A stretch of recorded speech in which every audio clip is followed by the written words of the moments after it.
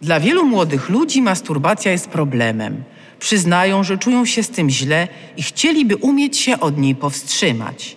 Nie dramatyzując problemu, dobrze byłoby potraktować go w kategoriach zadania. Wiem, że to jest zachowanie niedojrzałe. Chcę osiągnąć dojrzałość, więc podejmuję trud uporania się z nim. Czyli, jak rozumiem, uporania się z masturbacją.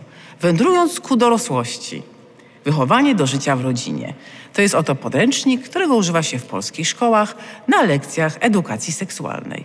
Tymczasem masturbacja jest zachowaniem jak najbardziej naturalnym, próbą oswojenia własnego ciała, poznania swojej seksualności i nie jest również prawdą, iż dotyczy tylko osób niedojrzałych. Najprawdopodobniej masturbują się ludzie w każdym wieku, zarówno chłopcy, jak i dziewczynki.